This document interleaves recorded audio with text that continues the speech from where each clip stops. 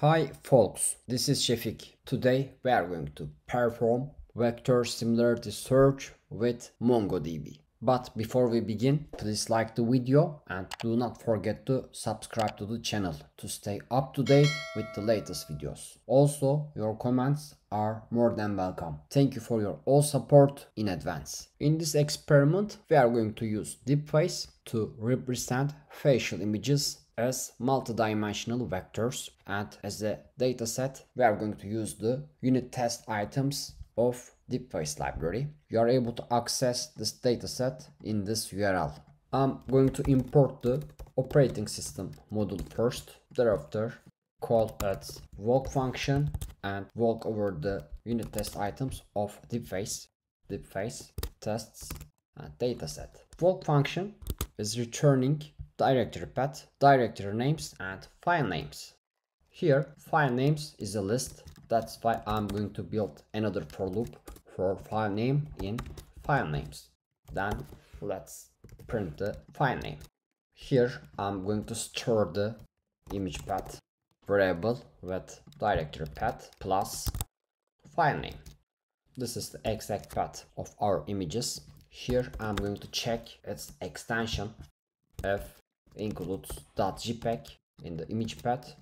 Thereafter, get all those items. Here, I'm going to initialize the empty list image paths and I'm going to append each item into that list. Now we are going to use DeepFace library to represent each image path as multidimensional vector. From DeepFace, import DeepFace. In this block, I'm going to build a for loop for image path in image paths. Also, I'm going to import tqdm library. And here I'm going to call deepface.represent and as input image path is going to be image path. Model name is going to be facenet. Finally detector backend is going to be mtcnn this is going to return the embedding objects. And this is going to be a list. I just focus on the first face in this object that's why i'm going to access at zero index thereafter get its embedding value. And let's store this in the embedding variable. And here I'm going to store image path and embedding pair into my Mongo collection. That's why here I'm going to import PyMongo dependency. And this block is responsible for embeddings. And let's create another block for MongoDB initialization. I already ran the connection string setting block, but it includes my username and password. That's why I'm not going to run this again and you are not going to see it. But suppose that I run a cell here and setting my MongoDB connection string. Here, firstly, let's create the MongoDB client, pymongo.mongo client and set connection string as input argument. Thereafter, I'm going to specify the database name and it's going to be DeepFace. It's going to be my database. Thereafter, I'm going to mention the collection or table. It's going to be facial database. This is going to be the collection. We are able to test the connection of this client. Client.sounddb.command and let's run ping command. It returns okay. Everything is okay. Now we can use this client and insert our image path and embedding data into our mongo database. In this loop i'm going to call collection dot insert one and send a dictionary. Name is going to be image path. Secondly embedding is going to be embedding embeddings of my facial database is just transferred to the Mongo. And let's see in the MongoDB compass my DeepFace database is created and facial database collection is ready. As you can see I have name and embedding case and embedding is a list with 128 dimensions from 0 to 127 now I'm going to search a vector in this database and I'm going to find the nearest ones. I use the unit test items of DeepFace library and represent those facial images as vectors and store them in my Mongo database. Meanwhile, I'm going to represent this target.jpg image as multi-dimensional vectors and look for the nearest vectors in my Mongo database. Let's represent this target one as vectors. Image path as target.jpg. Thereafter, I'm going to call DeepFace.represent and image path is going to be target.jpg. Similarly, module name is going to be facenet Finally, detector backend is going to be mtcnn. This is going to be the object and here I'm going to focus on the first face in this image because object is a list here. Thereafter access at embedding key and this is going to be my target embedding. Let's see the content of target embedding. It's 128 dimensional vector. We can confirm that. That's 128 dimensional vector. Now we are going to find the nearest neighbors of this vector in Mongo. Firstly, I'm going to copy the content of this vector. Then I'm going to run a aggregations query at the new stage. And here my stage is going to be add fields and name of the new field is going to be target embedding and let's set my target embedding vector here then we can run this pipeline it returns my documents with new target embedding column. This is same for all documents and coming from my target embedding. Thereafter, I'm going to add new stage and my second stage is going to be unwind. Here, I do not need the second and third arguments. Path is going to be embedding. Thereafter, as you can see, each dimension of this embedding is exposed in a column. Similarly, I'm going to unwind the target embedding.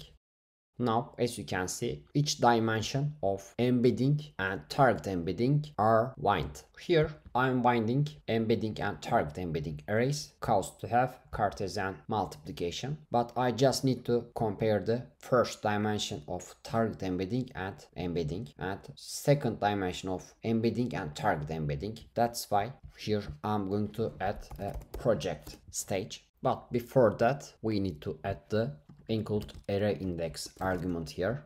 Uh, it's going to be embedding index. As you can see, this is the first dimension, this is the second dimension. Similarly, I'm going to do it for target embedding.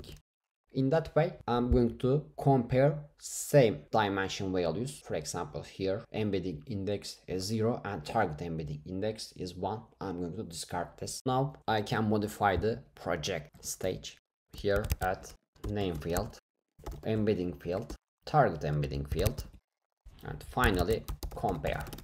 This is going to be a function and we are going to set the target embedding index and embedding index.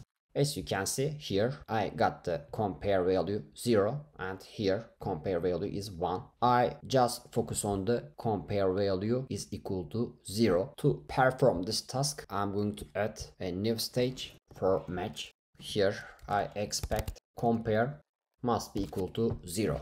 As you can see, the compare value is 1 is dismissed and I just have compare value is equal to 0 in this documents. Now I can compare the embedding dimension value and target embedding dimension value. I need to find the difference of those dimension values for each dimension. To find the Euclidean distance, we are going to add a new stage for group underscore id is going to be image name itself then I'm going to find the distance for each dimension. Firstly, we are going to find the difference of each dimension. That's why we are going to use the subtract function and it's going to be a list and we are going to find the distance of embedding and target embedding.